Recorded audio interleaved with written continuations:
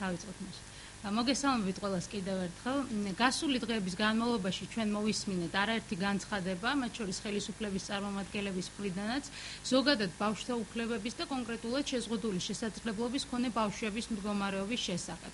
ეს სიტყვები რომ არ დარჩეს უბრალოდ თარიღისადმი მიძღვნილ ზოგად რიტორიკად, ქრისტიან-დემოკრატები მოუწოდებთ ხელისუფლებას, რომ განახორციელოს რამდენიმე კონკრეტული ინიციატივა, რომელიც მნიშვნელოვნად გაუმჯობესებს შეზღუდული შესაძლებლობის მქონე ბავშვების მდგომარეობას. პირველ რიგში უნდა დადგინდეს ინვალიდის სტატუსის მინიჭების სამართლიანი წესი ბავშვებისთვის, რაც მოგცემს საშუალებას, რომ ამ ბავშვების პენსია გაუთანაბრდეს ეგრეთ წოდებული პირველი ჯგუფის ინვალიდების პენსიას. ასევე მნიშვნელოვანია სარეაბილიტაციო პროგრამების დაფინანსება, საჭიროების შემთხვევაში ეგრეთ წოდებული შინმოვლის სერვისის შეთავაზება და განსაკუთრებით რეგიონებში დღის ცენტრების სისტემის განვითარება. ასევე გადაუდებელი აუცილებლობა არსებობს დღეს იმისა, რომ საყოველთაო დაზღვევის პროგრამაში თუ ნებისმიერ იმ სადაზღვევო პაკეტში, რომელთაც სარგებლობენ შეზღუდული შესაძლებლობის მქონე ბავშვები, ჩაიდოს ან ზოგ შემთხვევაში გაიზარდოს მედიკამენტების დაფინანსება. ეს საკითხები ნამდვილად არ არის ახალი და წლების განმავლობაში მეც და თქვენს გვიმუშავე ამ თემებზე. უბრალოდ დღეს კიდევ ერთხელ გვიწევს სამწუხარო დაფიქსირება იმისა, რომ ამ მიმართულებით შეცვლილი არაფერი არ არის და არც ერთი პრობლემა არ არის მოგვარებული. ყველაზე მწვავე საკითხი ეს არის სტატუსის საკითხი, იმიტომ რომ დღეს გვაქვს რეალობა სრულიად უსამართლო, როდესაც თუ კი ზრდასრულებში ჩვენ გამოვყოფთ ეგრეთ წოდებულ პირველ და მეორე ჯგუფს და ამ სახელწოდებას მე პირობითად ვამბობ, იმიტომ ვიცით რომ ეს არის შეცვლილი, მაგრამ საზოგადოებისთვის უფრო ადვილი აღსაქმელი არის პირველი და მეორე ჯგუფის ინვალიდი. ბავშვებში ასეთი სტატუსები საერთოდ არ არსებობს, არის ერთი ინვალიდი ბავშვის სტატუსი და კიდევ უფრო დიდი უსამართლობა ის არის, რომ განურჩეულად ჯანმრთელობის მდგომარეობისა ყველა ინვალიდი ბავშვი იღებს მეორე ჯგუფის ინვალიდის პენსიას, რაც არის დღეს 70 ლარი. მაშინ როდესაც პირველ ჯგუფს სექტემბრიდან ეს თანხა გაეზრდება 150 ლარამდე ბავშვები გაცილებით უფრო ნაკლებს აიღებენ ამიტომ აქ ორი გზა არსებობს და აუცილებელია რომ სწრაფად გადაიჭრას ეს პრობლემა. ერთი შესაძლებელია რომ ყველა ბავშვის პენსია გაუთანაბრდეს პირველი ჯგუფის ინვალიდის პენსიას. თუმცა მე ვფიქრობ რომ აქ გარკვეული უხერხულობა შეიქმნება მაშინ როდესაც ზრდასრულობაში უკვე ზოგი ბავშვი მოზარდი უკვე მიიღებს მეორე ჯგუფის ინვალიდის სტატუსს მას თანხა მოაკლდება რა თქმა უნდა ეს არის პრობლემთან დაკავშირებული ამიტომ სასურველია რომ ხელისუფლებამ აირჩიოს უფრო გრძელი საკანონმდებლო ცვლილებებთან დაკავშირებული გზა ის რომ თავად ბავშვებშიც მოხდეს დიფერენცირება გარკვეულ ჯგუფებად ინვალიდი ბავშვების დაყოფა და ვისაც აქვს ყველაზე მწვავე მდგომარეობა, მათ რა თქმა უნდა, უნდა გაეზარდოთ პენსია და ის უნდა გახდეს პირველი ჯგუფის ინვალიდის ტოლი. აუცილებელია არა მხოლოდ ფინანსური დახმარება ამ ბავშვების, არამედ განსხვავებული სერვისების შეთავაზება, ისეთი როგორიც არის მაგალითად კიდევ ერთხელ ხაზს უსვამ. შინმოვლის სერვისი. ეს თქვენ აღარ გაგჭირდება. სხვადასხვა ტიპის სერვისები უნდა არსებობდეს.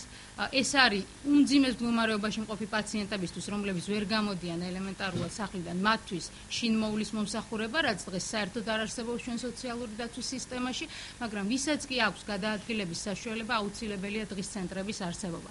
მოგეხსენებათ, რომ დღის ცენტრები მოქმედებს მხოლოდ დედაქალაქში, ისიც მოთხოვნა მათზე არის გაცილებით უფრო დიდი, ვიდრე კმაყოფილდება საჭიროება, თუმცა რეგიონებში ასეთი რამ პრაქტიკულად საერთოდ არ არსებობს და ხელისუფლება დღეს თუ რამეზე უნდა ფიქრობდეს, უნდა ფიქრობდეს იმაზე, რომ დაფინანსდეს, რაც შეიძლება მეტი არასამთავრობო ორგანიზაცია კვალიფიციური, რომ მოემსახურონ შეზღუდული შესაძლებლობის მქონე ბავშვებს რეგიონებში.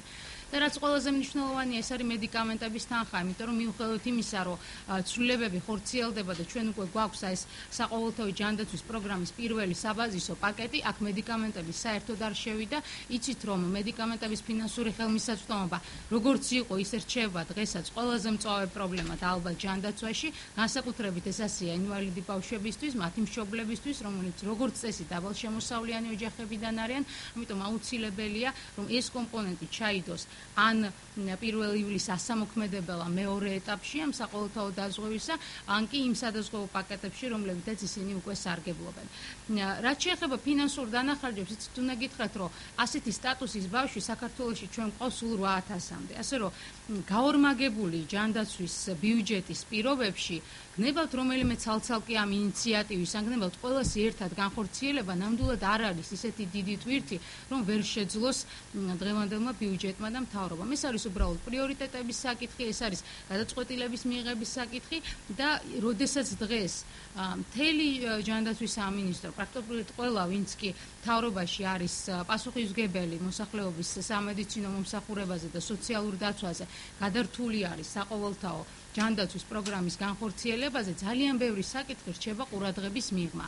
მაშინ როდესაც თანხები უკვე დაიხარჯა იმისთვის, რომ თუნდაც საზოგადოების ძალიან მცირე ჯგუფი, მაგრამ მაღალ შემოსავლიანი სტაბილური სამსახურის მქონე, ხო, მათ შესთავაზონ რაღაცა სერვისები, რაც აბსოლუტურად ამ ხალხისთვის არ არის საჭირო, იმიტომ რომ არის ბევრი ადამიანი, დასაქმებული ადამიანი, რომელსაც აქვს კერძო დაზღვევა და თავად ახერხებს ჯანმრთელობისთვის რაღაც საჭირო სერვისების შეძენას, ხო?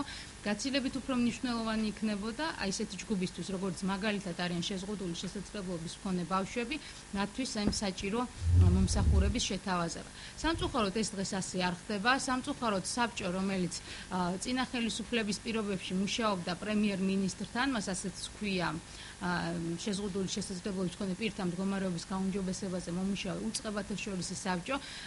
წინა პრემიერ-მინისტრის დროს პრაქტიკულად საერთოდ არ იკრიბებოდა და მე თუ არ ვცდები ერთი თუ ორი შეხვედრა მახსოვს სადაც ის ზერელე რაღაცა საუბარი იყო და არც ერთი კონკრეტული გადაწყვეტილება ამ საბჭოს არ მიუღია. როგორც ჩანს ეს ტენდენცია გრძელდება დღესაც. ახალმა ხელისუფლებამ დააქვეითა ამ საბჭოს სტატუსის აღარ არის პრემიერ-მინისტრთან არსებული არის ჯანდაცვის მინისტრთან არსებული და ეს მოხდა მხოლოდ იმის გამო რომ საბჭო გამختارიყო უფრო ქმედითი და მიეღო რეალური გადაწყვეტილებები. რადგანაც ხადია რომ პრემიერ-მინისტრი შეიძლება ვერც თვეში ერთხელ და ვერც ორ თვეში ერთხელ ვერ ვერ დაჯდე მოხდეს ამ საკითხებზე სასაუბროდ, ხო? მაგრამ შედეგი არის აბსოლუტურად იგივე, პრაქტიკულად ნულის ტოლი და დღეს ინვალიდი ბავშვების მშობლებს უწევთ აქციის გამართვა კანცელარიის წინ, ასეთი, ну, რაღაცა მართლაც სრულიად ადეკვატური, მაგრამ ერთის მხრივ ძალიან სიმპტომატური სახელწოდებით, როგორც არის ჩვენ ვსვარსებობთ, იმიტომ რომ როგორც ჩანს უკვე ხელისუფლებაში მყოფ ადამიანებს ისიც კი აღარ ახსოვთ, რომ ეს ხალხი, ეს ჯგუფი ჩვენი საზოგადოებისა არსებობს.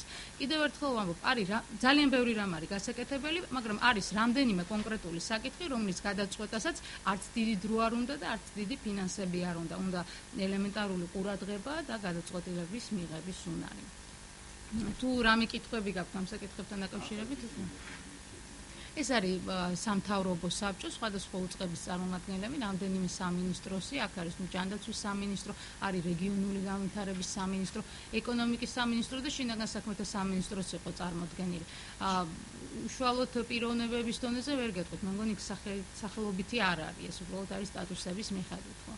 აქ არასამთავრობო სექტორიც არის წარმოქმნილი, რომელიც წინადადებას სთავაზობს ხოლმე, მაგრამ ნუ როგორც ეს მთავარი არის, რომ შემდეგ ეს ყველაფერი აისახოს რაღაცა საკანონმდებლო ინიციატივებში ან მთავრობის გადაწყვეტილებებში, მაგრამ პრაქტიკულად ეს არის რაღაც ფასადური ორგანო, რომელიც გადაწყვეტილებებს ვერ იღებს, ცხადია. დიდი მადლობა.